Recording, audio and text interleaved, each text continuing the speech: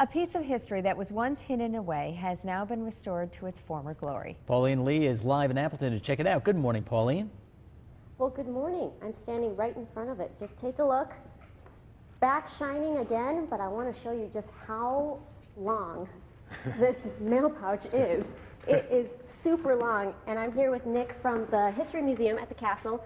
Nick, you were telling me this used to be the outside of the building next door. Yeah, yeah. So many of these commercial buildings would have been built uh, attached right to the outside of the building next door. So when this building was built in 1892 by Charles Party, it's very likely that um, this was covered and probably uh, covered right around then and would have been probably painted sometime in the early 1890s. So it didn't have a very long lifespan Aww. outdoors.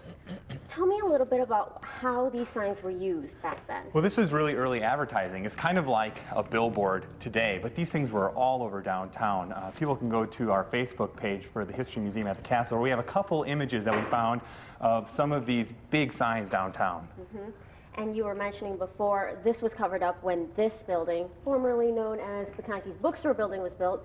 But Conkey's has a very long history as well. Yeah, yeah. Conkey's originally started as an insurance company, by, but by about 1890, we start to see that they're also selling books and stationery. And they moved around a lot downtown, but they didn't move into this location until 1958. Wow. We have some pictures and some video to show you as well. You were saying there's a sign painter that Yeah, very briefly around 1920, there was actually a guy who professionally painted these signs named William Miller who lived in this building. Now, he didn't paint this one, but right. he probably did a couple of the signs downtown. Mm -hmm. And so Conkey's, again, I mean, it changed 10 times, would you just say? Yeah, oh, well, yeah, it moved all over the place. Or, or businesses that were located yes. here, yeah, this building um, originally was supposed to be a grocery store, but it was a Christian science reading room, a jewelry store. It changed at least 10 times by 1920. So uh, there were businesses constantly coming and going from here. And when did Conkey's come in? Conkey's came in in 1958, but uh, it closed about 2009, and it was a really beloved bookstore in downtown. Although really was known as the party Building originally, uh, I think everybody's always going to know it as the Conkey's Bookstore building.